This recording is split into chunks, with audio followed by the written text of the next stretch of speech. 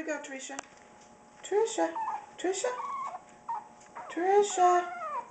Look up here. Tricia. Tricia.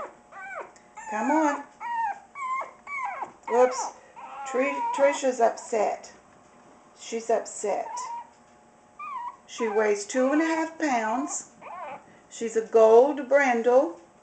She has a little white on her chest and a very black mask. She has a very nice coat of hair that she'll either be able to have it long or in a um, puppy cut. She'll look nice in a puppy cut. Um, she is available for $500 plus shipping cost. She's just a little upset right now because she doesn't understand about being in the movies.